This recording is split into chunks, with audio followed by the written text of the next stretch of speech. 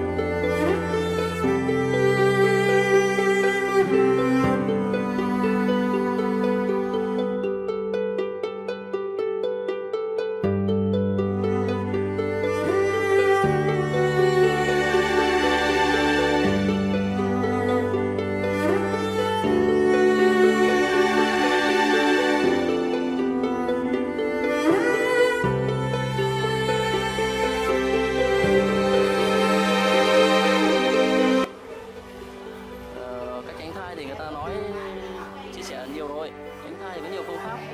Như là tính ngày là, là, mình có thể là cái gì đó tính ngày là một này à, uống thuốc là hai này à, đeo bao chung là ba.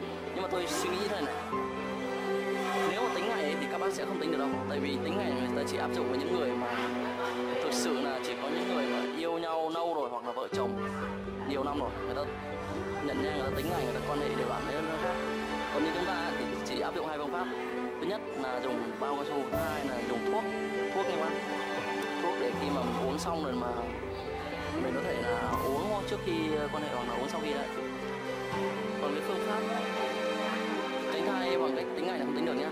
Còn hai cái phương pháp còn lại tôi nghĩ là được, nhưng mà được thì các bạn phải suy nghĩ kỹ, tại vì uống cái thuốc nào của tây y nó cũng hại thận, hại gan. Rồi là chưa kể cái thuốc tránh thai nó còn hại cái thần kinh của người phụ nữ hoặc là hại về cái quá trình sinh con sau này nữa. Vậy nên các bác đàn ông con trai ạ cố gắng. Hãy cố gắng hy sinh mình. Muốn quan hệ thì hãy cố gắng hy sinh mình bằng cách là lúc nào ở trong túi trong bao nô trong cặp sách cũng để một hai cái bao cao su. Nếu mà là một người đã có người yêu hoặc là đã có cái cái vấn đề quan hệ thường xuyên nhé còn những người mà không quan hệ thì không cầm làm gì nhá. Cầm đi theo này nó mang tiếng con tay ra. Còn đã quan hệ là mình phải mang theo liên tục để, à, để thứ nhất là để cho nó an toàn trong vấn đề quan hệ còn cái vấn đề quan hệ thì ai mà chẳng có, ai mà chẳng phải trải qua. Em lành nặn không sao nhá. Còn những em khuyết tật rất là khổ các bác ạ. Nhưng mà đa số là những em bị khuyết tật là bố mẹ nó bỏ rơi. Tại vì sao? Sinh con ra mà thấy nó thiếu cái tay, thiếu cái chân hay là bị bại não hay là bị liệt đó người ta bỏ ngay. Đấy, các bác nhìn thấy em bên trong đây không? Ở bên trong này tôi cho các bác xem nha gần gần nữa rồi mình chèn ở đây các bác nhìn thấy chưa? Đó. Đó em mới thiếu hai cái tay đó. Còn hai em ở trên uh, trên trên giường kìa. Từ nãy giờ tôi ngồi tôi xem thì các em đang vật nhau từ nãy giờ khoảng độ 10 phút đồng hồ rồi. Mà chưa phân thắng bại. Thì hôm nay tôi làm một cái video này với mục đích là chia sẻ với mọi người nhá.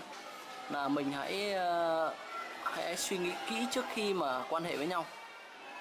Còn đối với vấn để quan hệ thì tôi thấy thật sự với các bác là ai cũng thích ai cũng có cái vấn đề sinh lý mà. Vấn đề nó là vấn đề tích cực của mọi người, không có vấn đề gì cả, sao cả nhưng mà nên nên gọi là nên suy nghĩ kỹ trước khi làm một cái việc gì đó. Còn ở đây tôi cũng mong mọi người là khi mà tình yêu chưa đủ thì khuyên bảo nhau, đúng không?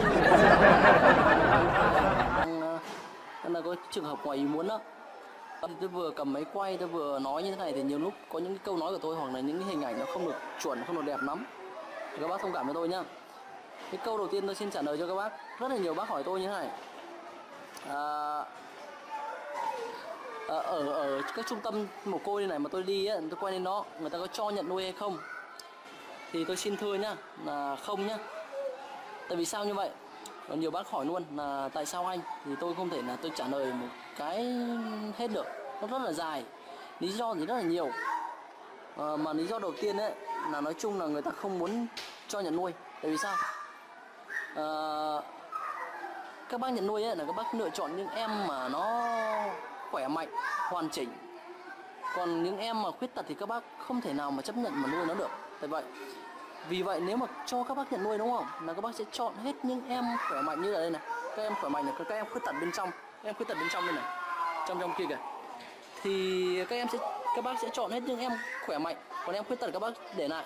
Thì thà như các bác xin nhận nuôi nhưng mà các bác xin những trẻ khuyết tật thì có thể là người ta sẽ đồng ý ngay. Nhá. Còn cái lý do nữa là nhiều gia đình nhiều bố mẹ người ta gửi con vào trong chùa ấy không phải gửi mà người ta không có khả năng nuôi ấy, người ta đưa con vào trong chùa. Người ta không có muốn là chùa sẽ cho bất cứ một ai dù là hoàn cảnh sang nghèo như thế nào. Không biết nhá. Lý do thì nhiều lắm các bạn